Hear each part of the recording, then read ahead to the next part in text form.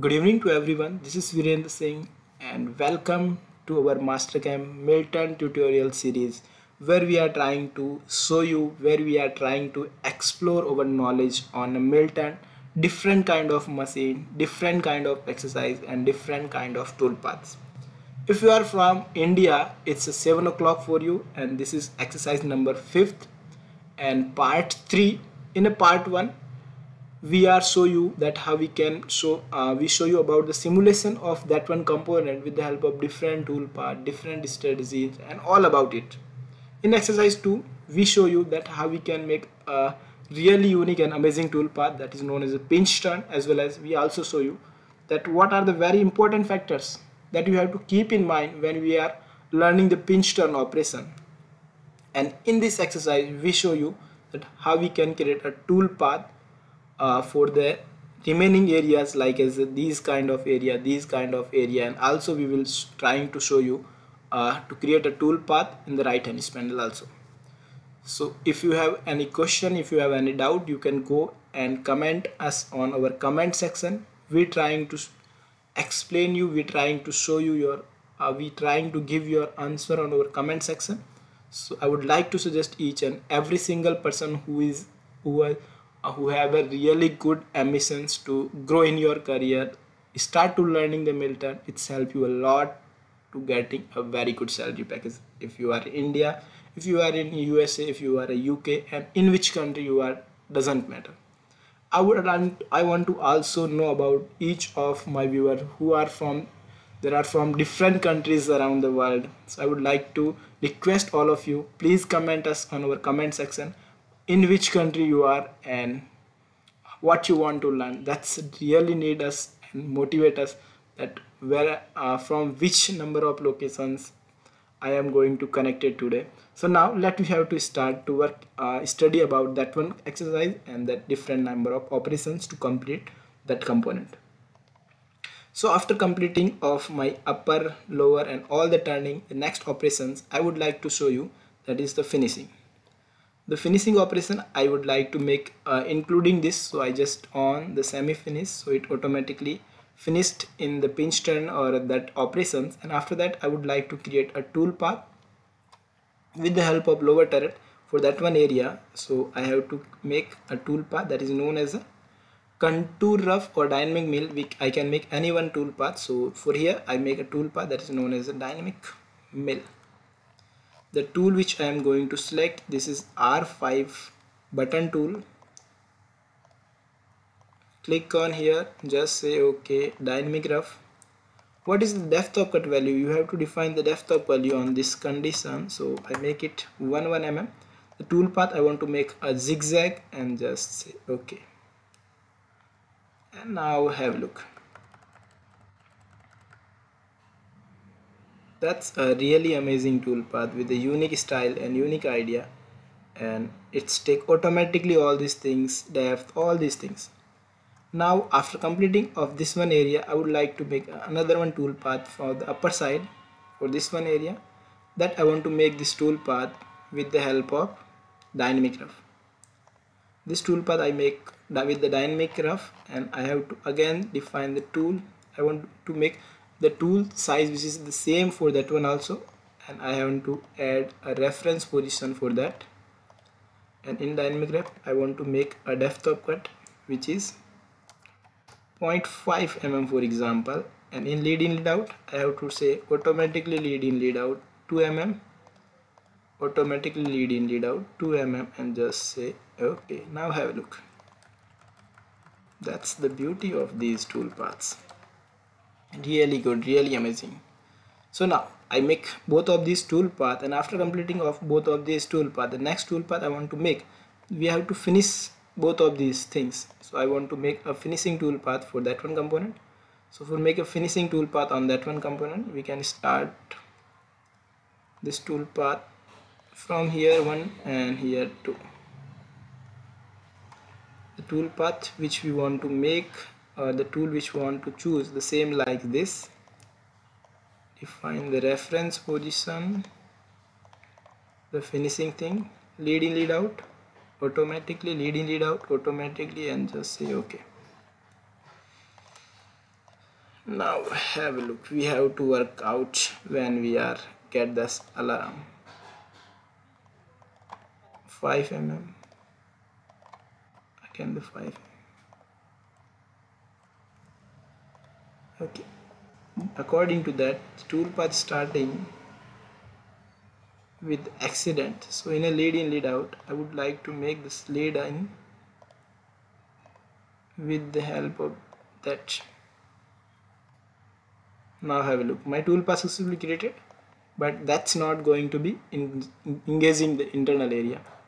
So I want to make O and this one. So now have a look that completed that's completed. And that's all about when we are talking about the finishing thing. So as you can see here my all tool path are successfully done for the left hand spindle side. And after that I have to make tool path for the right hand spindle. So for creating a right hand spindle I have to make part handling from the left side to the right side. Or for that one purpose I would like to make this tool path. This is known as a pick off. So I have to say just pick off once I select the pick off operation I have to say just okay so as you can see see here. Once I just say okay so after okay as you can see the different number of operations different number of tool paths are created here. First the turret park with the upper turret park with the lower clamping synchronization spindle move clamping and again move and synchronization but after completing of all these tool paths there is no turret park is included this. So we need to add on this tool path. And before we have to create the tool path that one tool path. We have to make before we have to creating the right hand spindle tool path we have to make a turret reference upper as well as the lower both the turret in a center point. In a Mill Turn I would like to told you we can we have a three positions of turret park. We can park turret on left hand side we can turret park on the right hand side and we can turret park on the center and that is known as reference position. And why I need turret park? Because when this tool path part handling will be done so that time right hand spindle came here hold my workpiece. During the holding time my both turret came are park on the left hand side after that if I want to make the tool path for this one area so that time what I need? I need uh, one important thing. And what is it? That time my turret have to automatically came on reference position. And after the reference position it can uh, rotate the tool. It can all the uh, rotating the tool and it can easily done. So that help us a lot. If so for that one purpose I make a turret park for the upper upper turret park reference position and just say okay. Again turret park I want to make a lower turret park and reference position and just say okay. So both our turret are now getting to be reference just say okay and press on G1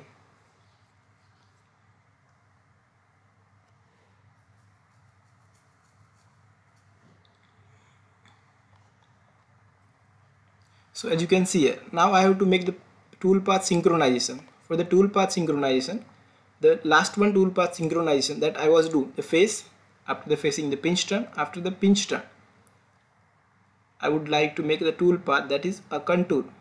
Once this is contour that will start for after this toolpath after this toolpath I want to make the toolpath dynamic rough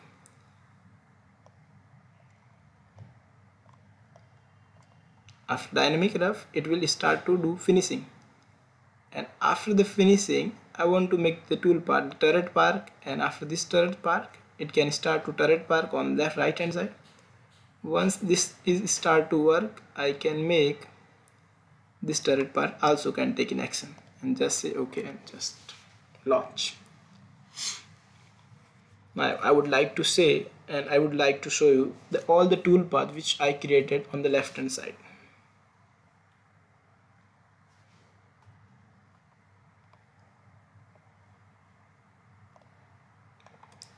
now have a look. The face the pinch turn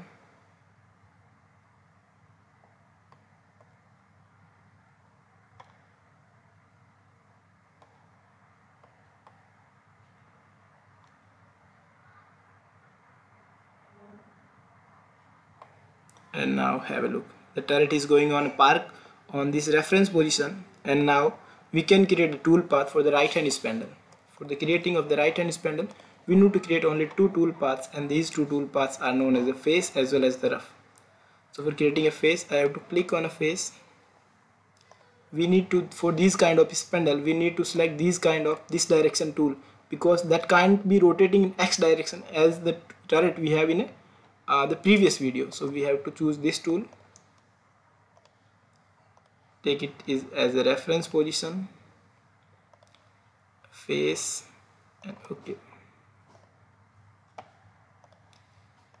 we have to say this die side and just say okay so that facing is successfully done. Once my facing operation done I can make the next toolpath that is finishing. In a finishing I can choose any kind of tool. I can choose this tool with the help of this side.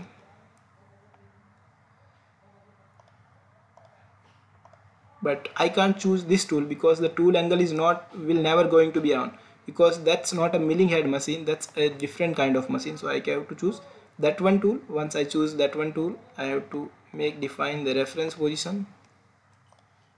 That's rough parameter. Use stop for outer boundary and just say okay now have a look as you can see now all the operations are successfully created. I hope you guys get understanding about that how we can create different number of operations different kind of toolpath at the same time. So thank you so much for watching this one video. See you in the next video with a new exercise and with a new machine. So keep learning keep growing